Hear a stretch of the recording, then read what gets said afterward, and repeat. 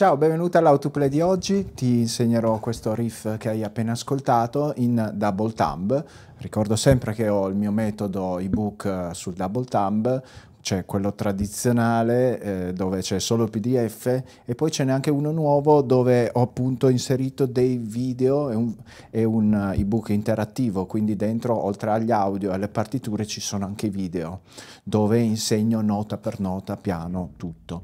Quindi partiamo con il pollice in giù, noi ci posizioniamo sul tasto 3 della corda di Re, quindi su un ipotetico Fa, ma la prima nota viene fatta col pollice in giù, però è una ghost note. Perché? Dopo andrò in Emmer a suonare il Fa.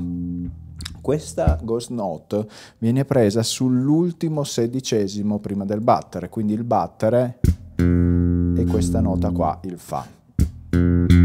Dopo la vado a doppiare andando su con, con il pollice e dopo strappo sulla corda di Sol una ghost note.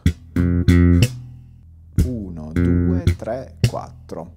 Questa idea vado poi a portarla su, diversi, su diverse note. La prima è un Fa, poi avrò il Sol, poi sul Mi e poi La bemolle.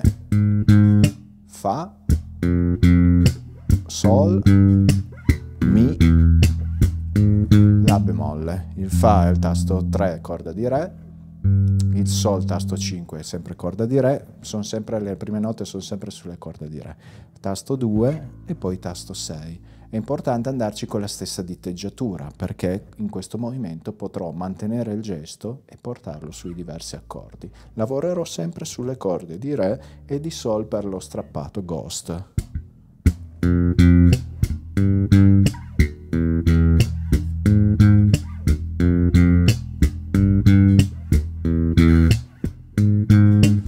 All'inizio bisogna partire molto molto lenti per meccanizzare il movimento, poi pian pianino lo si porterà, quando è meccanizzato, diventerà più naturale.